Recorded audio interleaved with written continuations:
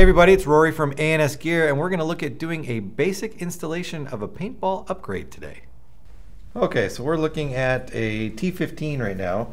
So this T15 looks a little different than it would right out of the box. Uh, it's got their 7-inch KeyMod uh, rail on it, plus a suppressor on the end. Customer wanted to see this setup uh, already put together, so we did, and we figured since we have this setup already done, let's go ahead and install their brand new uh, buffer tube. So their remote line buffer tube setup.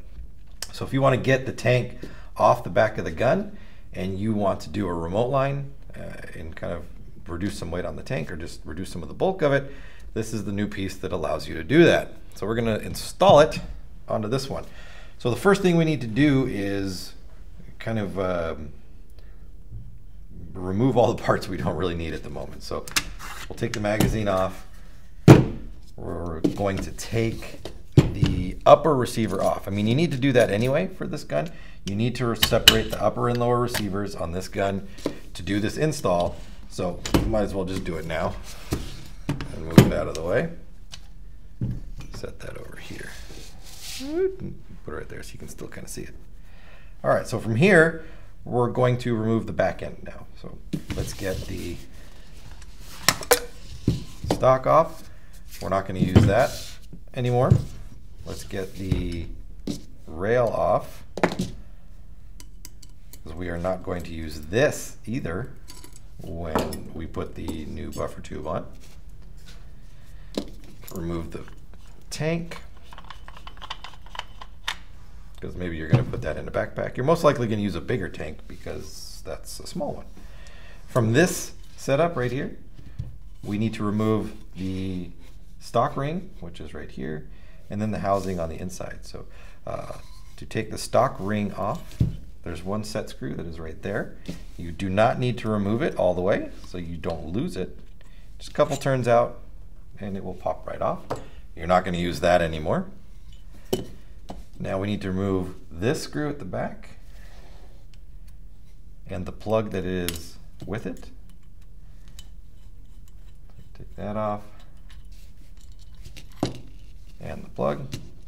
This basically helps center this uh, adapter plate right here and it plugs the hole that's down here as well. So we don't need that anymore. We're not going to use that. Let's take this off of here. We're not going to use that either.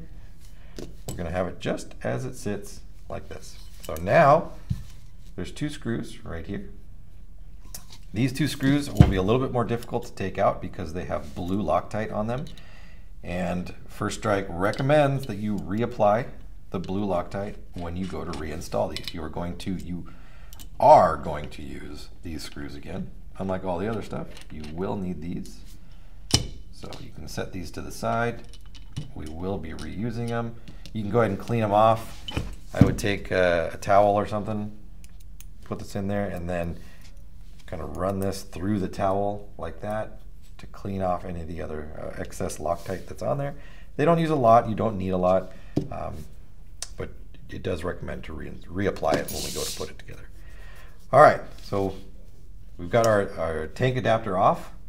Um, the instructions say set the screws aside because you're going to use them and remove the O-ring because you're going to use it, which is true. You will be reusing the screws and the O-ring and you will not be reusing this part.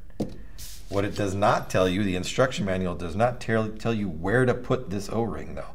It's pretty obvious once you look at the parts where the O-ring needs to go, but the manual does not say where they need to go. So uh, I will show you where they need to go. Here's our new buffer tube that we're going to install. The bottom section right here has an O-ring already recessed into it. That's the same area that we took this piece off. This was the silver screw that was passing through that one. It has, um, it just pushes against that. So this has an O-ring already on it and this little bump to take the place of this plug. But up at the top right here, this is where the gas is going to go through. This is recessed for an O-ring right here. And you're going to use this O-ring that you pulled off and you're going to put it on just like that. Okay, that's where it goes. Manual doesn't say where it goes, but it's pretty obvious. It's gonna go right there. So put that on there. Then we can go ahead and boop, marry these two together. And this is where you would then reapply a little bit of this blue Loctite onto that screw. Pick up the right Allen key. And I'm going to go ahead and put these on. If you want to play right away, it's okay. Make sure you tighten these up. It will take the Loctite some time to cure. They say 24 hours. It's usually not that long, but it is, you know, I'd give it half the day at least to sit up nice and tight. Um, as long as you make those screws tight, one day of play isn't gonna isn't gonna do anything. The blue Loctite is just there to to help with vibration and the screws wanting to move or back themselves out because of vibration. Uh, all right, so that's on. Now what we would just need to decide is how we want to set the stock up. We've got a hole here on the bottom right there, and then another one on this side right here. These three holes will allow us to run our remote connection, remote adapter, in either of those three spots. A lot of people are going to see it at the bottom, right there. This is going to just have the line coming right out the bottom into the back. But if you are a dominant left-handed player or right-handed player and you didn't switch arms very often and you just wanted it to come out of one side or the other, then you could put it in the side like that. You know, it's up to you how you want to do it. It just gives you three options.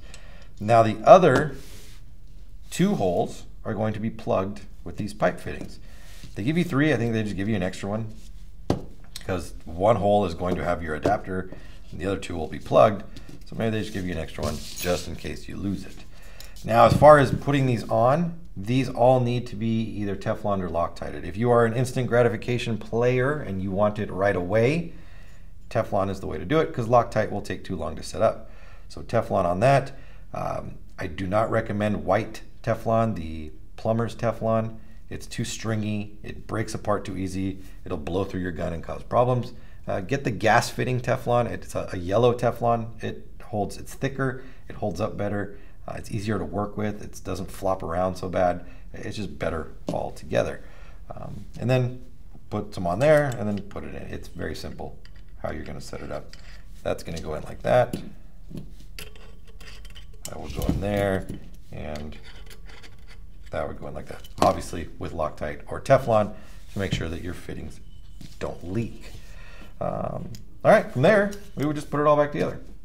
So our upper and lower, we're gonna put them back together.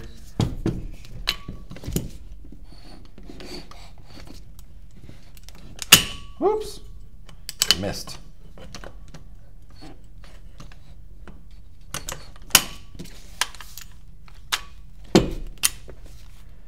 And then, one thing that they don't tell you again, that's not really in the manual, this is just how it works, is because the original stock was designed for a tube or for a tank to go in.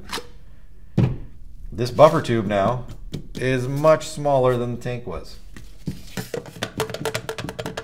Not gonna work. The buffer tube is cut for um, for the stock already. It's got the same piece or design or, or stops, they're called, uh, as that little key does right there, the little um, the rod. But your original stock will not work. So you'll need to find one uh, that is just the outside part of the stock, the adjustable part. Um, if you want a paintball version, you're most likely going to get it with the buffer tube that fits a different type of gun, like an A5 or a 98 or something like that. You're just going to pull the buffer tube out and you're just going to use the stock. This one is an airsoft version. It was pretty snug, so I liked it on there. I know it's the wrong color. I don't think that really matters when it comes to showing you what it looks like. Obviously, we would go with the black one unless we changed all the other stuff to tan as well. But that's what it's going to look like on there. And then, you know, be adjustable all the way out with your remote line coming off the bottom right there. So a pretty cool little setup here just I want to remind everybody that their original stock will not work. You need to get a different one or use it without a stock on it at all. Looks kind of silly, but people love silly. So uh, that's it. That's the installation of the new gas through or remote line adapter buffer tube from uh, First Strike on a T15. Well guys, I hope this helps you out with any questions or concerns you have about your paintball gear or products. And as always, for all your paintball needs, shop ansgear.com.